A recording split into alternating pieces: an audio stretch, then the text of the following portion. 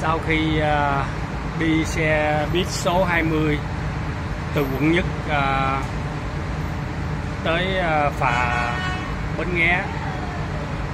Xong rồi mình mua vé lên phà để đi qua bên kia đón xe buýt số 90 để đi đảo kỹ Cần Giờ. Thì hiện bây giờ là mình đang đứng ở trên cái phà đây.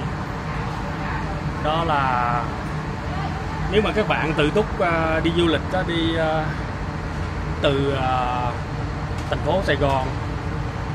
Điểm là bến xe buýt à, ở um, gần chợ Bến Thành uh, quận uh, quận nhất đó thì ở ở bên đó nó có hai cái tuyến xe để đi Cần Giờ. Một cái chuyến là số 75 là mình đi thẳng luôn.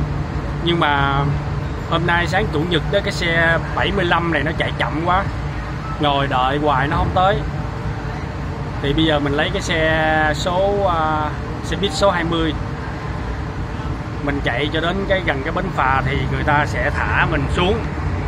Tự mình đi qua bên phà, mình mua, mình đón à, xe buýt à, khác mình đi.